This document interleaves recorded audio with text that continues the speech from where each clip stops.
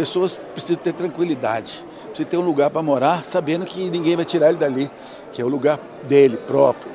E nós estamos fazendo esse esforço muito grande, já fizemos, é, através do mais tempo, quase 9.800 regularizações, ainda tem muitas para fazer, mas vamos fazer.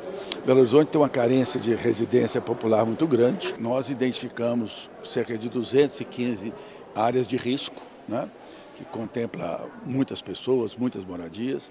E desde o primeiro, do princípio do ano, março, nós começamos a fazer esse trabalho de, é, de é, proteção das encostas.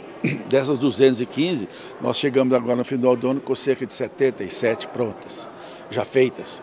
E, logicamente, nós temos o ano que vem para fazer. Você não trabalha em costa da chuva, né? Você trabalha em costa da seca.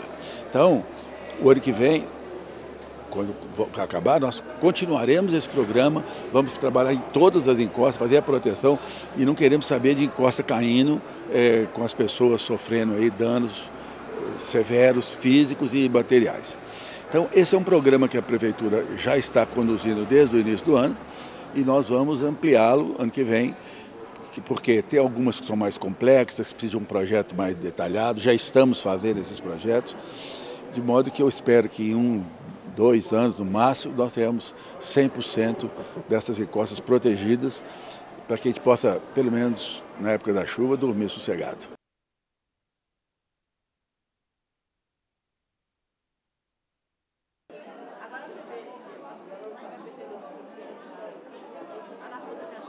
A gente não tinha direito a fazer um financiamento para poder fazer uma reforma, até para construir mesmo, né? Tivemos que comprar tudo assim com os nossos recursos. É muito importante ter um documento, você passa a ter mais segurança. Eu tenho mais ou menos 25 anos, né, que eu moro nesse bairro, né, moro no bairro Vista do Sol.